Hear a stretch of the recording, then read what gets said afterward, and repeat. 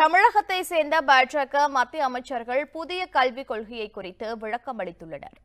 அனைத்து இந்திய மொழிகளையும் வளர்க்க வேண்டும் என்று மத்திய அரசு விரும்புவதாகவும் தொன்மையான தமிழை போற்றி வளர்க்க மத்திய அரசு ஆதரவளிக்கும் என்றும் மத்திய நிதி அமைச்சர் நிர்மலா சீதாராமன் கூறியுள்ளார் மும்மொழி கொள்கை குறித்து ட்விட்டர் பக்கத்தில் விளக்கம் அளித்துள்ள மத்திய வெளியுறவுத்துறை அமைச்சர் ஜெய்சங்கர்